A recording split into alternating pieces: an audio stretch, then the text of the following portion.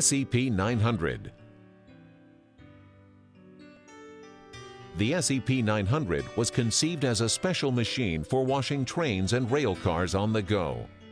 It features a latest generation low pollution diesel engine, low maintenance hydraulics to power traction and brush operation, plus a 1,000 liter water tank.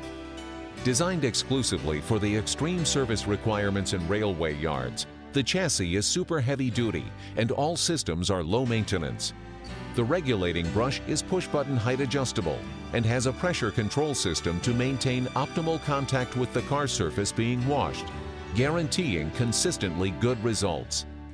Exclusive features also include all stainless steel cab, engine compartment, water tank and brush shroud for total corrosion-proof operation.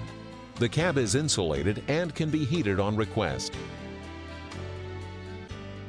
The SEP-900 combines all these modern features to allow washing trains inexpensively from either platform or track level.